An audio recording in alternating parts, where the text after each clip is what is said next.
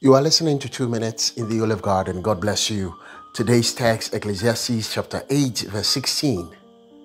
When I applied my mind to know wisdom and to observe the labor that is done on earth, people getting no sleep day or night. Now, this is the NIV. The New Living Translation says, In my search for wisdom and in my observation of people's burdens here on earth, I discovered that there is ceaseless activity day and night. When you hear that life is short, you hear this as a child, you cannot fully appreciate it. It will just be some cliche resounding on the lips of elders as you hear them. But as you grow, you would come to understand how short life really is. And that is why you must choose the things you do with the little time you have here on earth.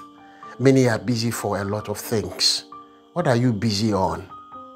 People stay awake by night and hardly sleep at night. Of course, we must all work hard to put food on our tables. The question, however, is this Is it really worth it? How much of our time and effort should we give to work, and how much time should we give ourselves for rest? A laborer must rest. Even God rested after working for some time.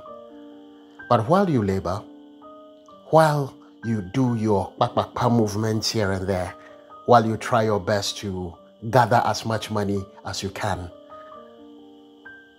are you making provisions for your health?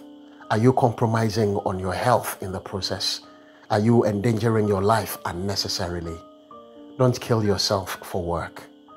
The shalom of Yahweh be upon you.